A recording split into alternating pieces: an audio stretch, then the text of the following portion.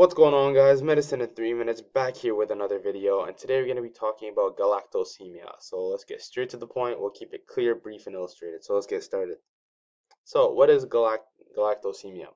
So galactosemia is a rare genetic metabolic disorder affecting the ability to metabolize the galactose properly. It follows the mode of an autosomal recessive inheritance and there is a deficiency of the enzyme galacto-1p uridyl uh, which does lead to toxic levels of galactose 1 phosphate. So that is important to keep in mind.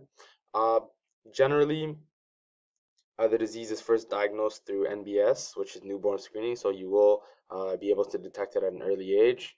And uh, from a genetic, from a statistical standpoint, uh, if both parents are carriers, then the child has a 25% chance of being uh, affected with the gene, a 50% chance of being a partial carrier, and a 25% chance of having normal genetics.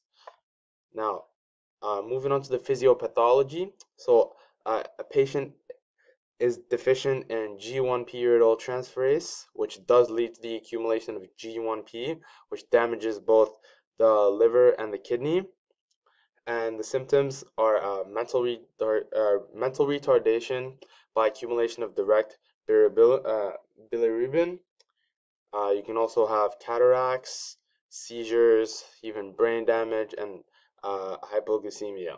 Now, uh, what is the treatment? The treatment is based on the eviction of lactose for the entire life. So that is important to keep in mind.